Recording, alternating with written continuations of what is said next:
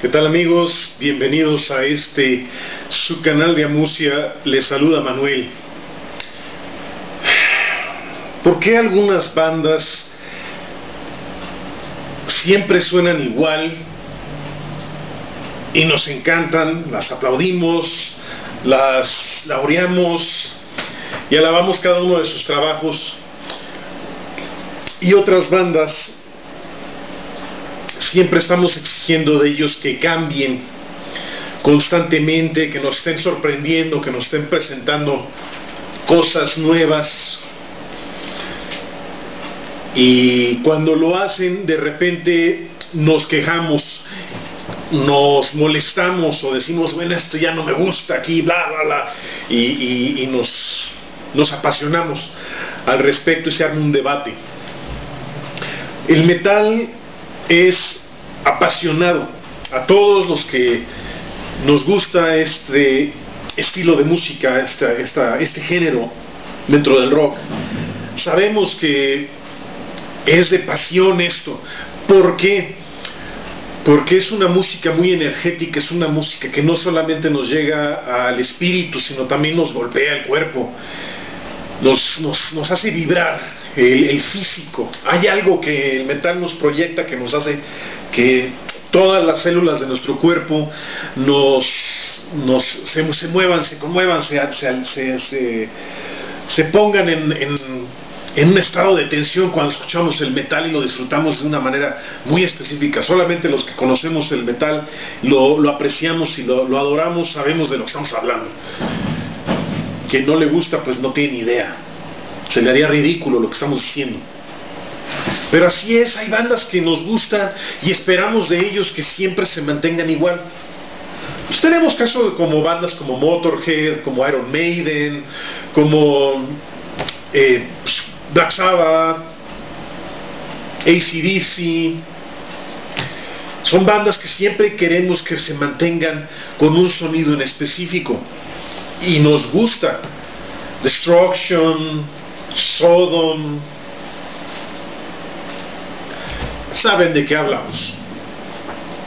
Y otras bandas, lo que esperamos de ellos es de que nos sorprendan. Tenemos el caso de una banda como Opeth, por ejemplo, que siempre ha presentado trabajos que van variando constantemente. Pero llega un momento en que dichos trabajos llega un trabajo como el Heritage y se vuelven polémicos y a muchos de nosotros ya nos parece. Vamos a hacer una pausa aquí para mencionar el caso de Opeth. A mí lo que me encanta de Opeth es precisamente esa dinámica, esa variación, esas distintas propuestas, esa, esa manera de, de, presentar trabajo tras trabajo, una evolución, un avance, una nueva idea. Pero cuando llegó el Heritage, si bien es un disco que disfruté muchísimo, lo, me encanta, a mí en lo particular mi queja es de que eso ya no es Opeth para mí. Cada día ese, ese, disco fue un cambio tan radical, si, si bien es cierto que es bueno, deja de sonar a Opeth, ya está yéndose en una vena totalmente progresiva se pierde la onda metalera casi. No, no, al 100%, pero se pierde de una manera muy drástica. Por lo cual yo preferiría que no tuviera el logo de Opeth. Porque no tiene, porque no mejor le sacó el nombre bajo otro título? Por razones de mercadotecnia. Por eso. Y es justo que reciban esas críticas, porque la gente está acostumbrada a cierta, cierto sonido, cierta evolución, cierta manera de trabajar las cosas, y cuando tú presentas algo y la gente ya no te lo aplaude, pues se me hace ridículo estar llamando retrógradas a las personas que primero te dieron de comer si tu trabajo ya no es apreciado de esa manera es porque algo hiciste mal. Y en este caso la gente no le molesta que te vayas por el progresivo, como fue el caso del señor Michael Ackerfeld o como se llame, y su banda Opeth, sino que ya están eh, renegando del metal.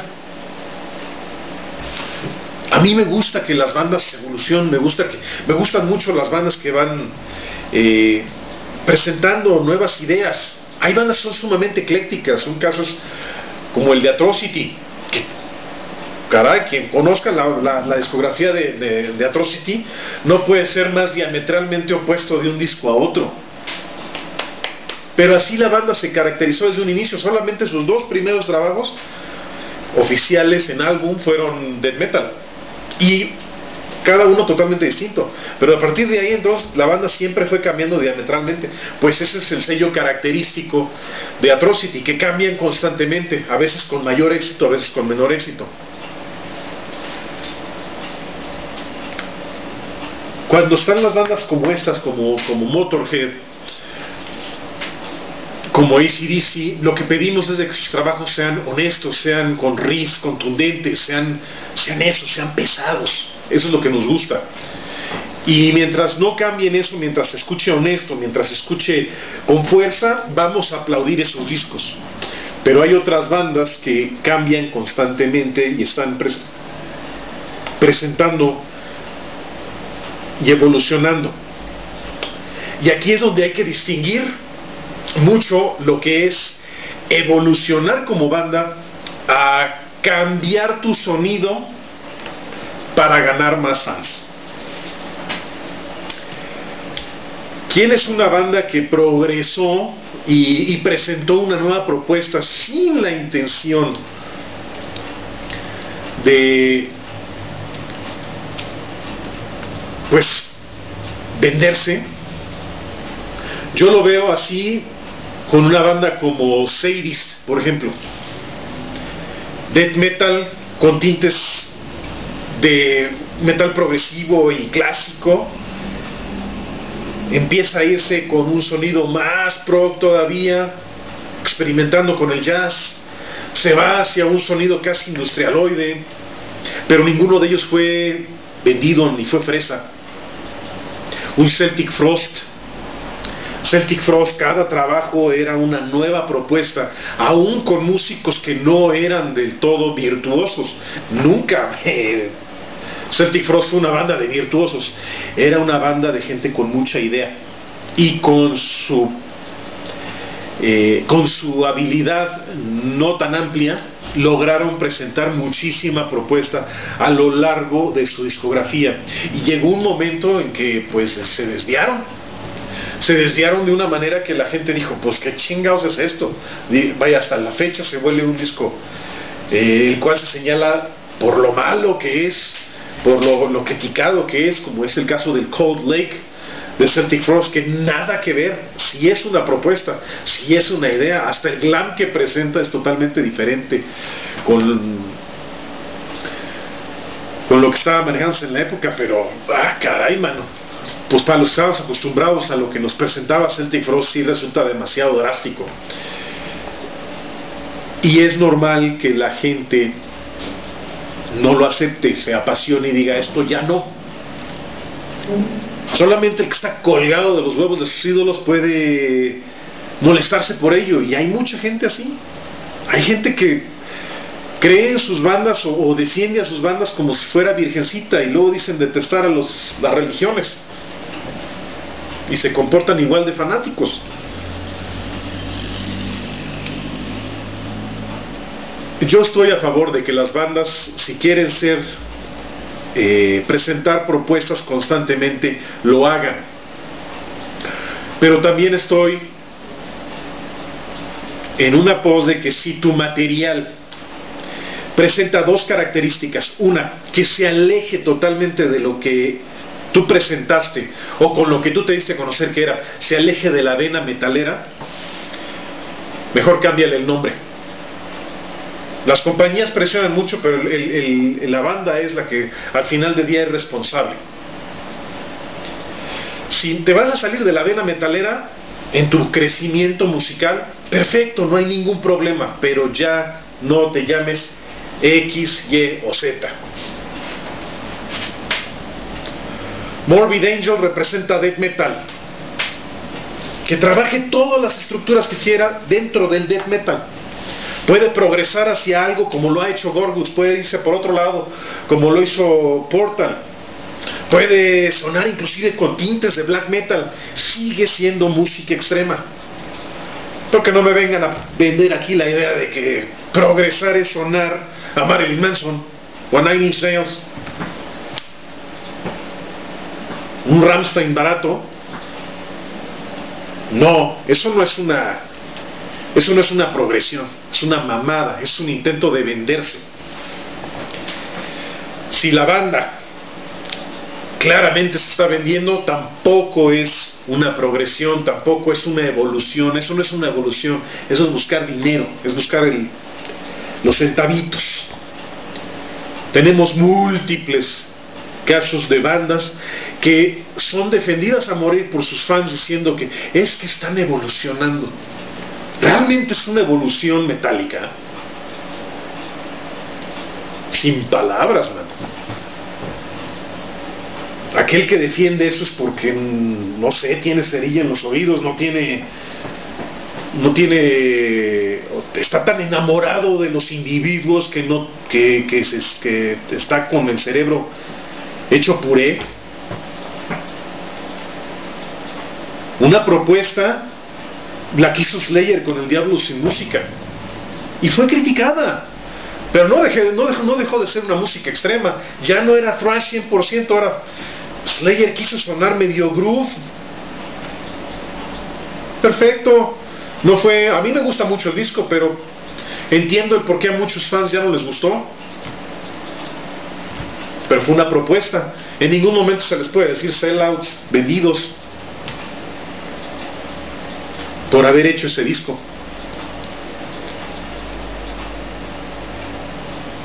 Ha habido muchas bandas que han bajado eh, la,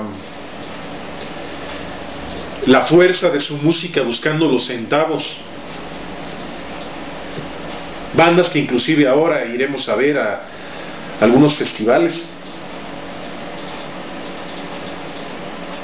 No tiene nada de malo sonar siempre igual siempre y cuando se haga con honestidad, siempre se oigan los riffs fuertes, contundentes, honestos.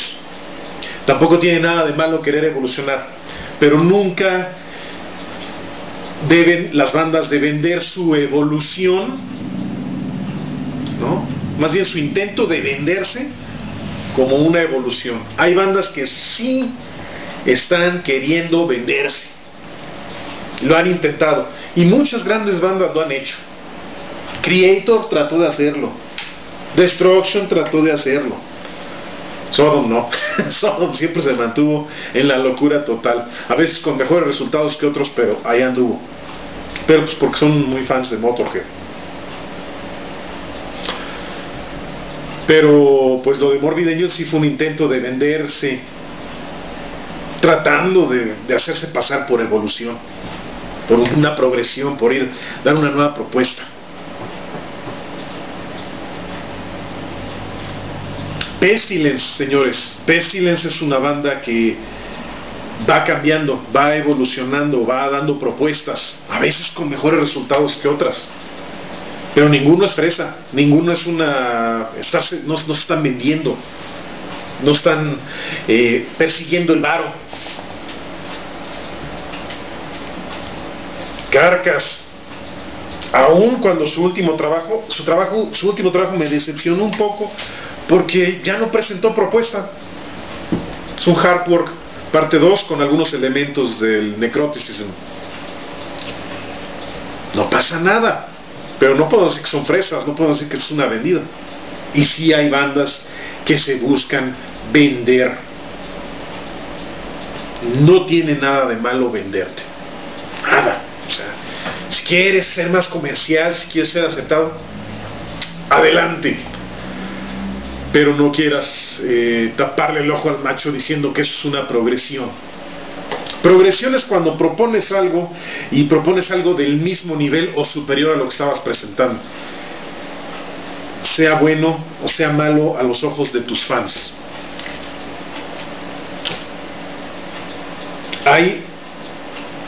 Evoluciones naturales y también hay evoluciones forzadas. Hay gente que se forza demasiado a tratar de ser tan ecléctico que pues termina siendo locuras, como lo, que pasó con Celtic Frost, lo que pasó con Morbid Angel. ¿Ustedes creen que Morbid Angel vuelve a sacar otro disco igual? Para nada. Y si lo hacen es porque no sé, a lo mejor ya están drogados.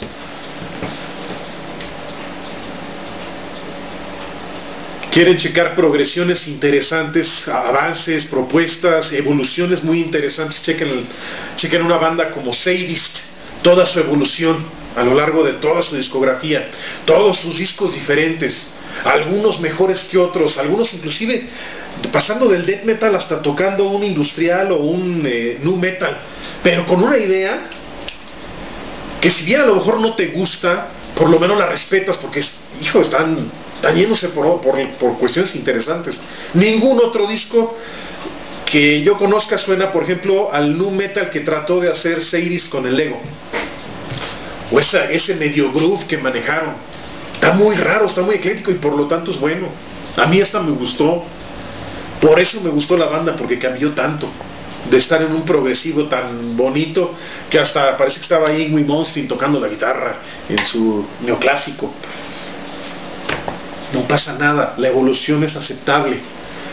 Pero también hay que aceptar que habrá gente que te acepte en, esa, en, eso, en esa forma ecléctica de, ir avanzando en tu carrera y otra gente que no le va a gustar. A mí no me gusta eso de que el señor de Opeth Ackerfeld, Michael Ackerfeld creo que se llama, se ponga, ay, es que son muy cerrados los cuates que, que no, no les gusta el disco Heritage.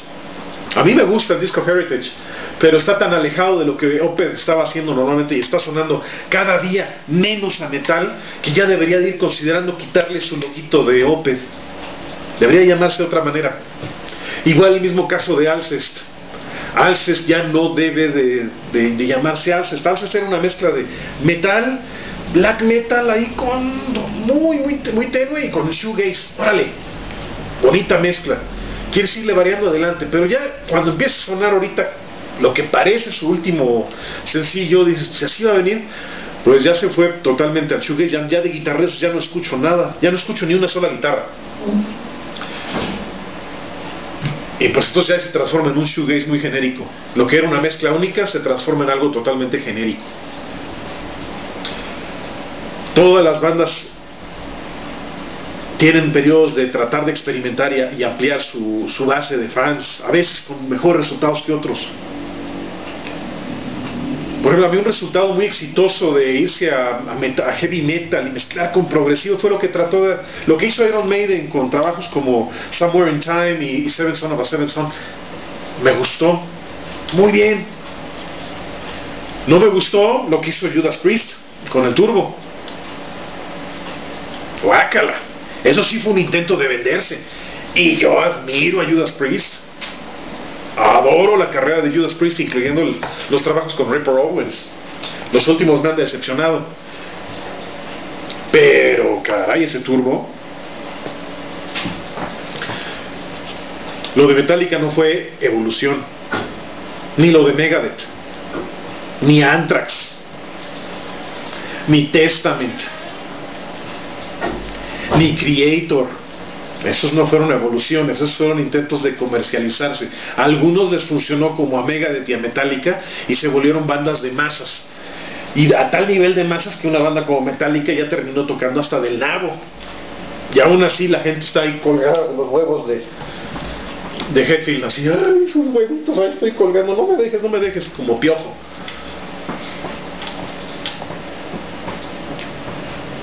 No pasa nada quieres, te quieres vender, adelante, hazlo, no pasa nada, qué bueno. Pero pues no chilles, no chilles cuando la gente no esté de acuerdo con ese esa supuesta evolución que tú quieres presentar cuando realmente lo que estás haciendo es venderse. Hay evoluciones realmente, hay progresiones, hay gente que sí propone. Hay propuesta real. Las de Atrocity son propuestas. Algunas son propuestas horrorosas, otras son propuestas geniales. Lo de Metallica no es propuesta, es involución. Van para atrás. Vámonos por la lana, vámonos por el dólar, vámonos por el dinero. En fin, vengan esos comentarios. Nos vemos.